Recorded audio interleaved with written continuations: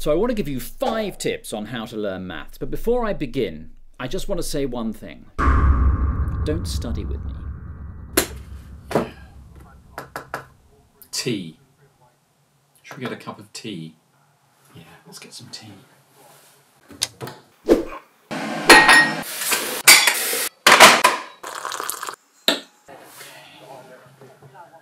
I've got some tea.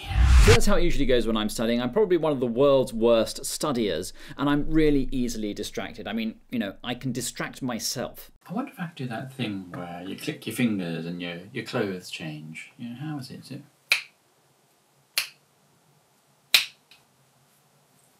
Cool. Try again.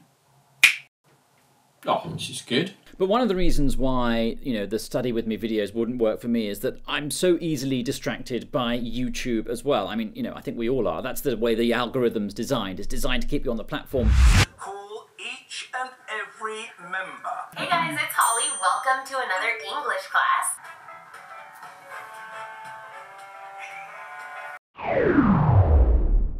So my five tips for learning maths are number one, you've got to believe in yourself. And you know, you have this growth mindset that I've mentioned on the channel before.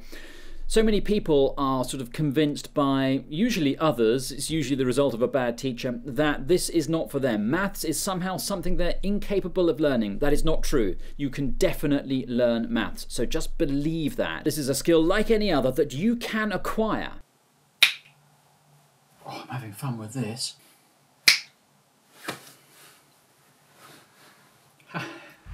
Number two, remove distractions. I know I mentioned it briefly, but you know, math is a very technical skill, and you know, you can go online to look at tutorials. But for me, I find when I'm trying to learn concepts and practice, I need to find a quiet spot somewhere away from distractions, you know, away from social media, away from phones and computers and anything that's likely to message me or, you know, bring my attention like YouTube does so easily with its watch list, just away from all of that.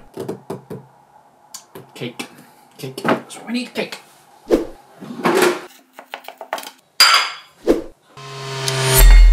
Got some cake now. Slice of cake. Let's just. Oh, I don't know. Mmm. Mmm. Mmm. Oh, that's good. Number three is practice problems. You cannot learn maths, you know, by picking up a book and reading through a concept and, you know, just having a look at the explanation and thinking, yeah, got that, and putting it down. You actually have to solve problems. Only through problem solving do you really get to grips with the concepts and how to apply them in different situations. It's, it's a vital part of the learning process when it comes to maths. Whatever you're learning maths for, you know, whether it's data science, whether you're learning linear algebra, calculus, or probability and statistics, you need to take those concepts and ap apply them using problems, as many problems as you possibly can. Don't just solve the easy problems that you understand, look for the difficult problems and try to solve them.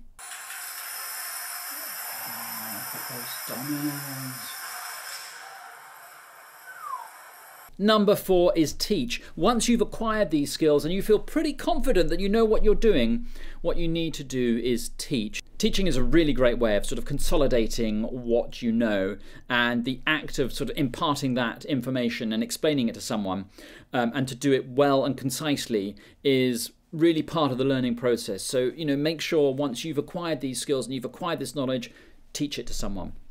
Also, the questions that they ask will make you see the problems and the concepts from different angles and perhaps from perspectives that you hadn't seen before. Hello? No, no, no, no, I'm not busy. No, just doing some um, bit of maths. No, no, it's not that. It's quite easy, actually. Yeah. No, I've been doing it for a while now. I'm, I'm pretty much there, actually. Yeah, yeah. Uh huh. Okay. And number five, stay motivated. Find what it is that motivates you. Find what it is that makes you want to do this, that's going to keep you plugging away at it for the you know months and years in some cases required in order to be able to master all of this stuff. But finally, make sure you have fun. Maths is a fantastic subject. Anyone can learn it. Your life will be enriched by knowing math. So remember, don't study with me, practice your maths, and keep away from those distractions. Bye.